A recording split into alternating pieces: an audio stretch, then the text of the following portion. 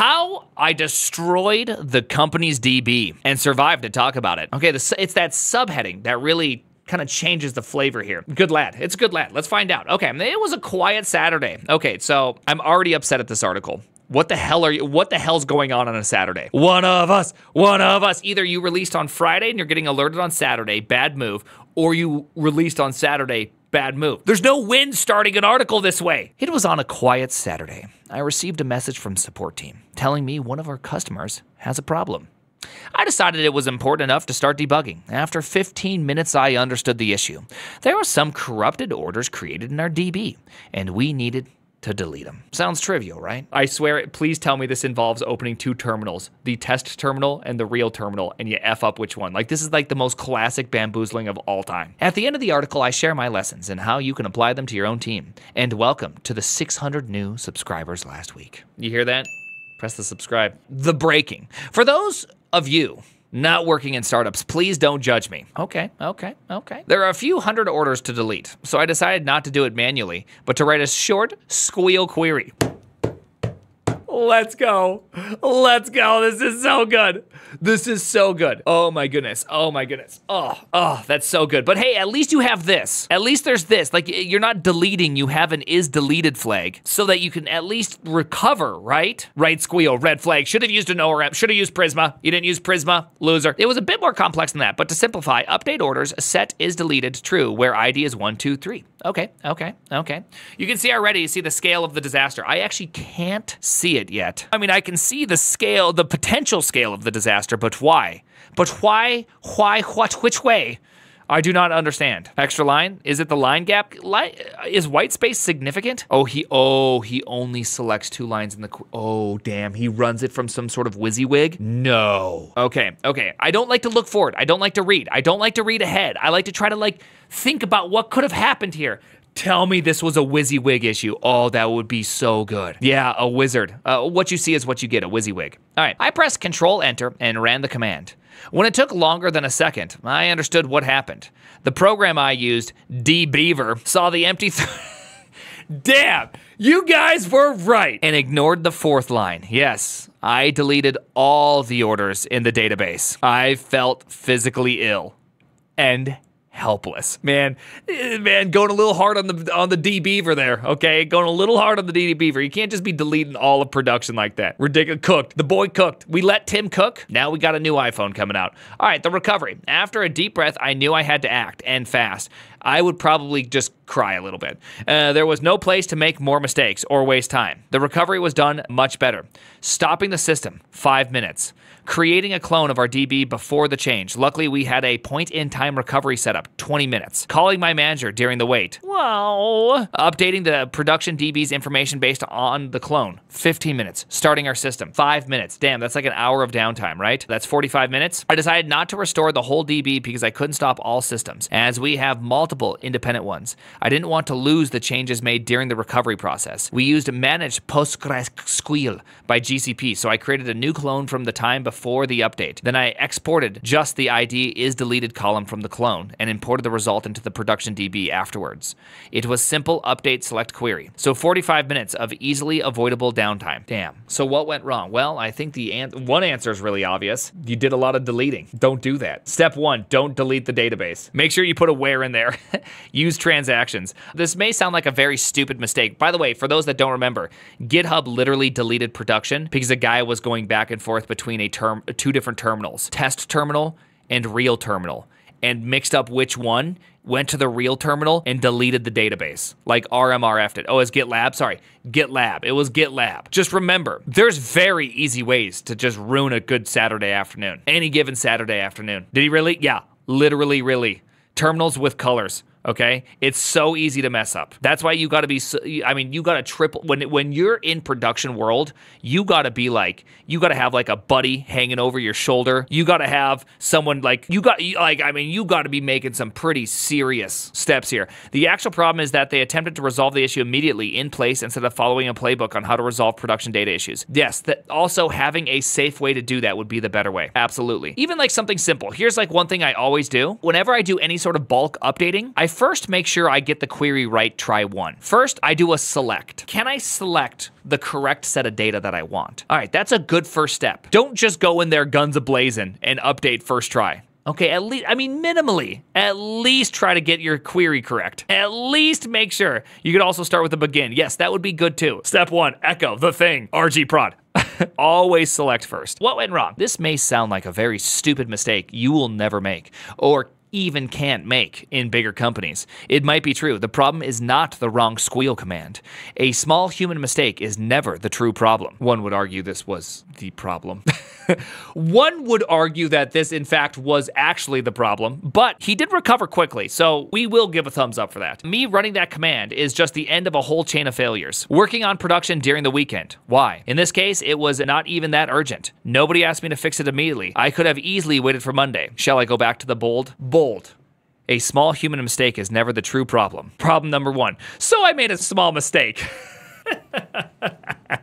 Let's go. All right, point two. Who the hell runs something on a prod DB without running it on QA first? A small human mistake is never the problem. okay, so we got we got two we got two out of five points being a small human mistake. All right, number three. Why did I manually edit the DB and not use an API call? Three out of three, people. Three out of three. This man sounds like me. This is like what I do. Number four. If there was no API, why didn't I call a teammate and have four eyes? On such a sensitive action. Are we at four out of four? Are we four out of four right now? All right, number five. And the worst part, why didn't I use a transaction? That is literally five out of five. This is, you're right. It's not one small human mistake that's ever the true problem. It's many small human mistakes. And they just all. they all happen to be you. hey, at least he's owning it. Hey, he's owning it. At least all of the mistakes he said, like, what I would say a good thing here is that he didn't say something like this, like, why would they let me just execute production? They there should have been someone stopping that from happening. So that's good. Like at least there's not some sort of like blind blaming somebody else or something. The the system allowed me to do this, so I do like that. I do like that quite a bit. Can we all agree to that? That's good. That, I mean, there there is some good in here, and these are all good. These are all good points, right?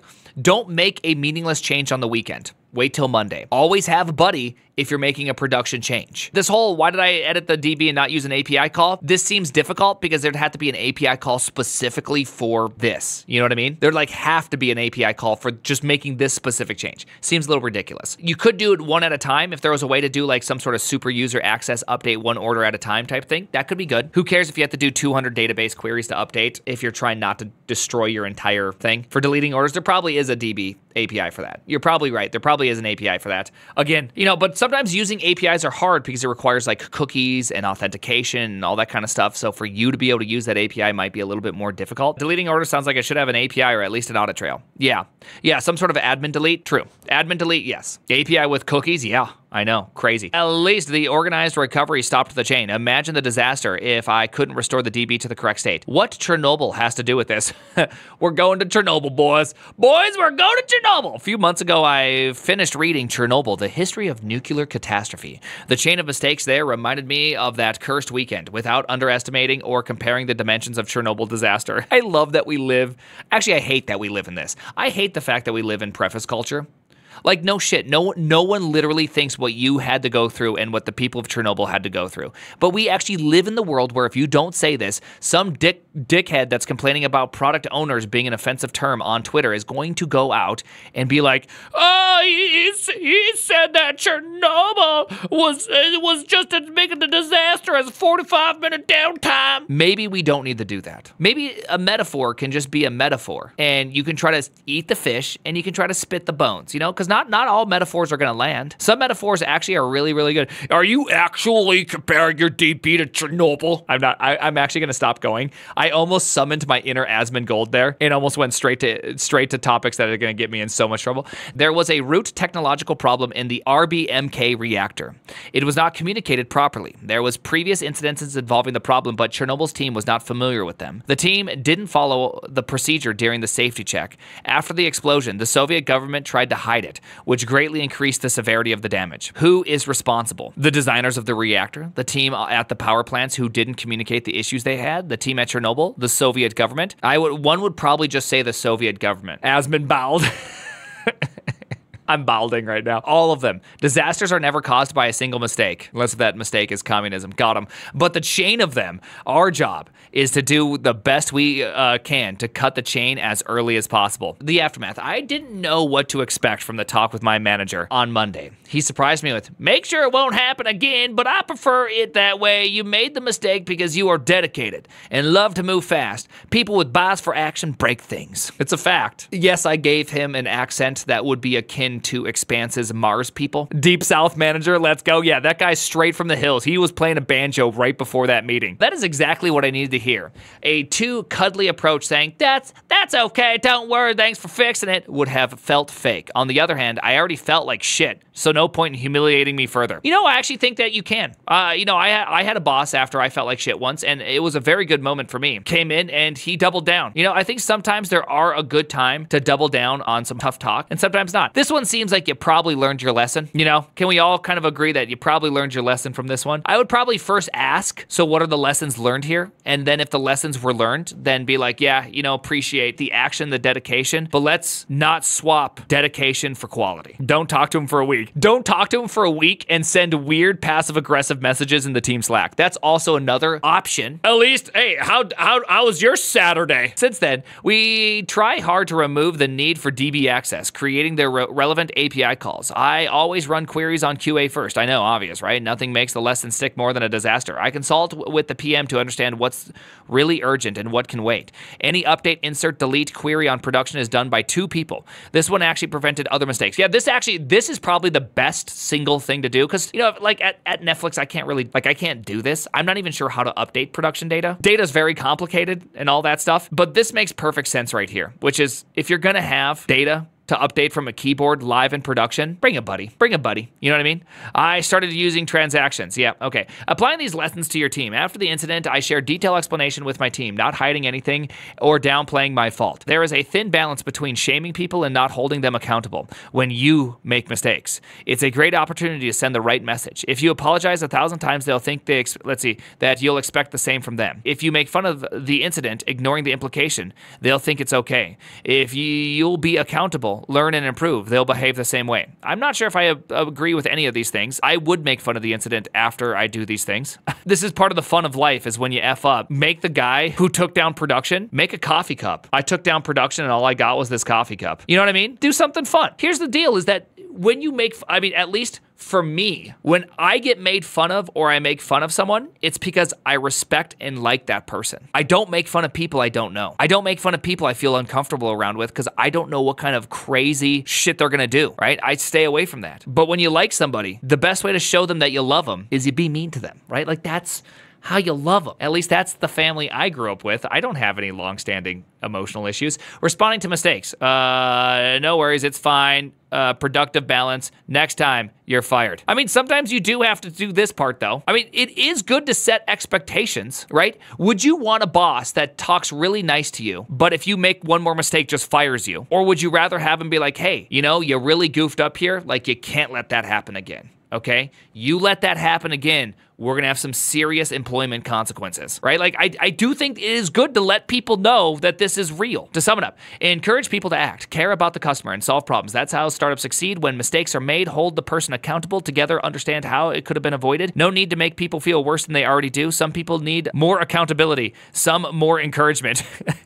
Did we just get did we just swap the word feel worse with the word accountability here? You know how you go to a doctor and they're like, you're gonna feel some you're gonna feel some pressure, and you're like, oh, that pressure feels like pain, doctor. A doctor, is this? Some people need to feel a little bit more accountability. Okay, we're gonna feel some accountability today. I always prefer to err on the side of encouragement. I don't like to. I try. I don't want to err on the side of encouragement or on accountability. The problem about always being too encouraging is that you don't develop like, or the expectation of an environment that's always encouraging is that you don't learn emotional resilience. You know, 2024 should be the year of emotional resilience. You know what I mean? You should really feel like you can be tougher. Everyone can be tougher. Everyone can probably endure much more than you realize. It's the expectation that always worries me. And I think in today's modern world, the expectation is that everyone is supposed to be nice. But the problem I find is that some people are nice to your face because of this expectation. I'd rather have them stab me in the front than in the back. You know what I mean? And so emotional resiliency, I, I, I do want more of that even personally for myself. But should everybody be tougher? Everybody should be able to be tougher. I don't think we should make a pass that some people should just be treated differently. Nice versus kind.